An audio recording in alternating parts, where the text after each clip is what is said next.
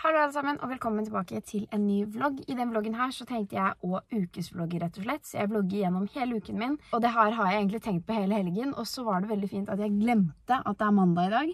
Så, så langt i dag så har jeg hatt en nynorsk tentamen, og så har jeg også ringt Scania, fordi at de driver og fikser bussen vår og sånne ting. Så jeg har bare fikset sånn at alt er i orden med den, og så skal vi få kjørt den nå i kveld. Akkurat nå så har jeg vært og levert noen klær til de grønne boksene, er det uff det heter. Og så er jeg med Lukas fordi vi skal i hundeparken. Jeg tenkte å ta med han fordi, ja... Når han er med på tur, så må han nesten få lov til å være med i hundeparken også, fordi det er fryktelig kjedelig å bare kjøre bil. Får vi se hva jeg gjør resten av dagen. Jeg skal i hvert fall fikse en del med bussen og sånne ting er hovedmålet i dag. Ok, nå må jeg innom Scania fordi at jeg har nøklene til bussen, og de må flytte bussen fordi at de skal fikse vindusviskeren, så da må de nesten få den. Så nå skal jeg bare slappe meg sånn at de får den, så de får fiksa bussen så fort som mulig, og så får vi kjørt den til EU-kontrollen i kveld, og så skal den godkjennes i morgen tidlig. Ok, så jeg sa det at jeg skulle hente bussen i sekstiden. Det ble det ikke noe av, fordi de trengte tydeligvis tre timer til. De sa det skulle ta en til to timer, og så, de, og så var vi der etter to timer, og så hadde de jo liksom ikke sendt noe melding eller noe på det. Ingenting irriterer meg like mye akkurat nå som det verkstedet der. Jeg har liksom blitt ledd av og bare blitt behandla jævlig dårlig der. Eh, begynner å bli drittlei. Nå har vi akkurat henta bussen, eller vi er på vei til verkstedet nå, så nå driver vi bare rygger og prøver å finne en plass å parkere. Men eh, ting ordner seg. Nå er jeg hjemme igjen etter å ha levert bussen, og i morgen tidlig så skal jeg opp klokken halv syv for å dra og fikse sånn at den blir EU-godkjent og gi nøkler og bla, bla, bla. Og så håper jeg bare at den blir godkjent og at ting ordner seg, og så ruller vi på fredag. Nå er klokka halv seks, og jeg våkner egentlig ikke før om en time. Eller jeg skal egentlig ikke våkne før om en time. Meg et sukkertøy for å roe nervene litt. Nå skal jeg sove. I dag er dagen her. Nå er klokken kvart på syv, og vi er oppe her. Ok, nå håper jeg virkelig at det ordner seg. Jeg har vært oppe siden klokken seks. I dag er det alt eller ingenting. Hvis det skjer i dag, så skjer det i dag. Hvis det ikke skjer i dag, så Jeg orker ikke mer. Nå er jeg hjemme igjen fra EU-kontrollen, eller godkjenningen. Ja, det gikk jo egentlig som stemmen min tilsier. Vi må fikse setebeltene. Og vi har ikke sånn veldig god tid på å gjøre det. De skal ringe meg etterpå, og så bare håper jeg at de får fiksa det, og at det ordner seg. Men eh, akkurat nå så kjenner jeg at jeg begynner å bli ganske lei, og Nei, blir det tirsdag i dag, fikser seg i morgen, og så på fredag så får vi satt inn anlegg og begynt å rulle. Nei, det her er eh, nedtur. Men det, er, det har vært sånn hele veien, liksom. Det går enten sånn eller sånn. Det er liksom ikke noe midt imellom. Det, det går aldri bra to ganger bra. Det går liksom annenhver gang. Så nei. Det ordner seg jo mest sannsynlig, da. Nå er jeg på jobb, og uh, jeg skal jobbe til halv elleve i dag, så jeg kommer ikke til å oppdatere dere noe videre. Jeg tror vi har fått fiksa sånn at setebeltene burde fiksa, og så håper jeg at alt er i orden til fredag, men vi får nesten bare se og krysse fingre og tær og bare prøve å håpe på det beste. I dag er jeg politikk og menneskerettigheter i hele dags. Åh, orker ikke. I dag er det onsdag, forresten. Tilbake i bilen. Nå har jeg akkurat vært på posten og hentet en pakke. Jeg bestilte selvbruningen til Sofie Elise, fordi nå er jeg så blek at jeg orker ikke mer.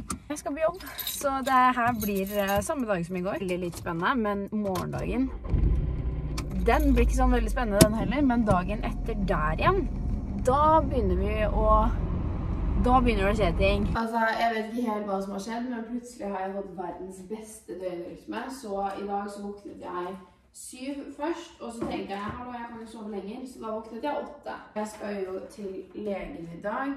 Har jeg sagt det? Nei. For å fikse uh, et par greier med det au pair-greiene. Uh, for jeg skal være au pair i Arizona til høsten. Selvbruninga var faktisk veldig bra. Det er en av de beste jeg har prøvd. Jeg syns den var veldig fin. Og uh, alt ble ikke borte når jeg dusja heller, så det var jo veldig fint. Så thumbs up. Jeg har den i medium. Jeg er i bilen. Jeg skal kjøre jentene til ei som har forsovet seg, fordi de skal kjøre bussen og, eller hente bussen. Så ja, det er det som skjer nå. Og så etter det så skal jeg til legen. Jeg må bare Faen, hvor la jeg det arket? Hilvidi. Nå er jeg akkurat kommet hjem fra legen, og jeg har spist litt grann mat. Ok, så nå skal jeg straks dra på jobb, men jeg bare stopper kjapt innom her. I morgen Dette her er det siste dagen hvor jeg jobber denne uka her, så i morgen blir det selvfølgelig mye mer spennende. Fordi i morgen så skal vi EU-godkjenne bussen. Vi skal bare gjøre den helt ferdig og klar, i tillegg til at vi begynner å rulle i morgen. Så alt skjer egentlig i morgen. Og på lørdag så er det akkurat samme. Det er natt til 17. det der, det der. På søndag så er det 17. mai, og jeg skal jeg vet ikke om det er TV eller om det er livesending. Ja, vi får se.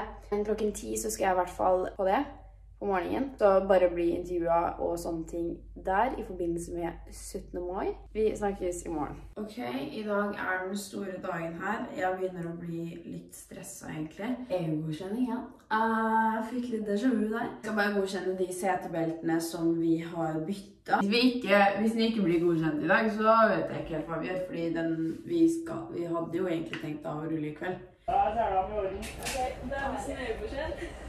Ja. Nå er vi tilbake på verkstedet. Vi har fått eh, skilter og alt mulig. Vi skal bare feste på det, og så skal vi kjøre bussen. Og så skal jeg male takluka, tenkte jeg. Og så ja, litt forskjellige sånne ting.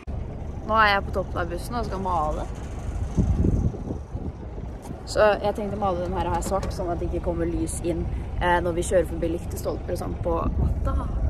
Nå er jeg på vei hjem ifra bussen. Eh, jeg prøver å komme meg ut på veien, men det var ikke så lett. Ja, nå er jeg på vei hjem fra bussen, og så skal eh, jeg egentlig bare sove, fordi nå begynner jeg å bli ganske sliten. Klokka er halv tre. Vi skulle begynne å vorse. Uh, det her går ikke. Ja, vi driter i det. Ha det. Nå har jeg sovet i sånn to-tre timer, og nå tenkte jeg å bare begynne å sminke meg. Det er det jeg holder på med nå. Nå er det liksom en dag vi alle trodde ikke kom.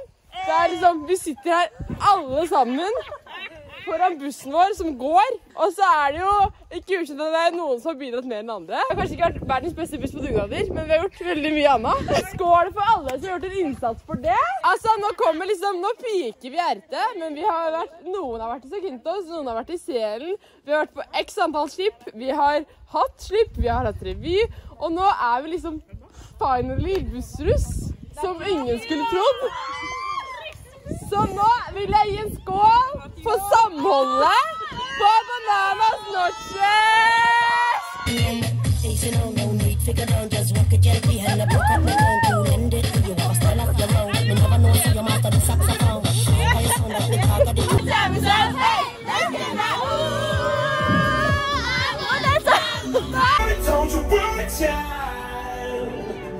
dag er jeg litt sliten. Jeg tror jeg dro sånn ett-halv to. Nå, jeg er litt sånn usikker på om jeg på en måte føler at eh, jeg vil dele det her eller ikke. Jeg dro sånn ett i går, tror jeg, og ble henta da fordi at jeg fikk angstanfall, rett og slett. Det var noe jeg faktisk ikke tenkte på at kunne skje. Men jeg prøver igjen i kveld, og så får vi se om det går bedre da.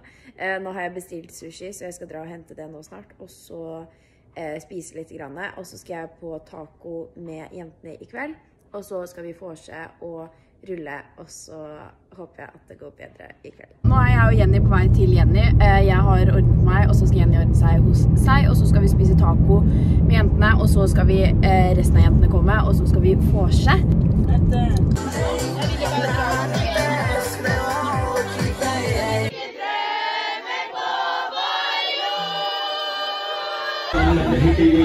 Nå